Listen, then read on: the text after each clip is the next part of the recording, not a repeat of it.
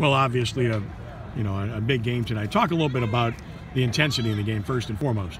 Uh, it was definitely an intense, emotional game between both sides, and even in the stands. And uh, we came out on top of that intensity, and we we got fired up, and we were ready to play. It was an they've, they've won the league the last three years since they've been it. One state the last two years. Clearly, there's some incentive there on your side. Of course, yes. Obviously, them winning state last year was a big motivation for us this this season. Uh, so it was a great game.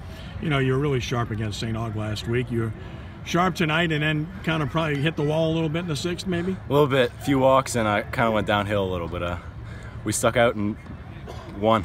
You know, you got that call on three and two. Uh, that had to make you feel pretty good. yes, sir. It was a big call. Got us out of the inning with one run, and it was it was huge.